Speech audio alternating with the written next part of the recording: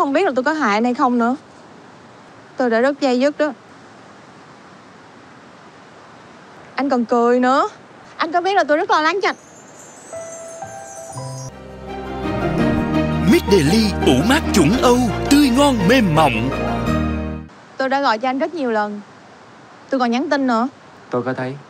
Thì tại sao anh không gọi lại cho tôi? Giận. Sao lại giận? Vì tôi không thích người ta xưng hô Là tôi với anh anh đừng có giỡn nữa. Tôi thật sự rất lo lắng cho anh đó. Tôi không biết là mình có làm gì sai không. Tôi cũng không biết là tôi có hại anh hay không nữa. Tôi đã rất dây dứt đó.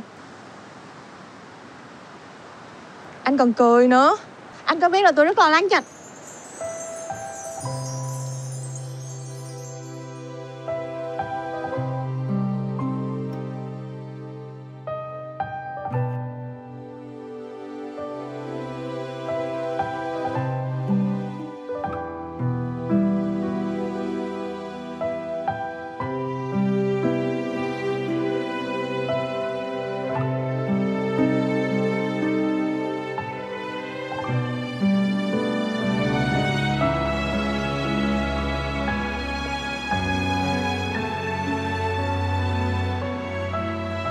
Không cần lo lắng.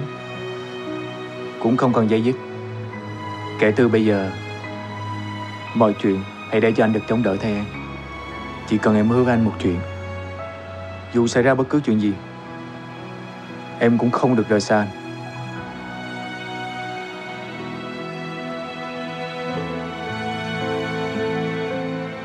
Hứa nha.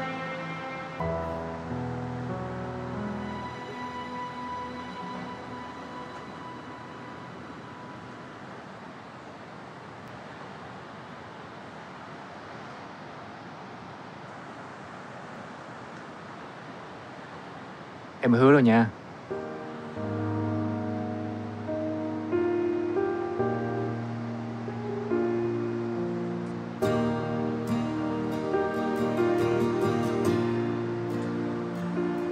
Hôm nay em mệt rồi.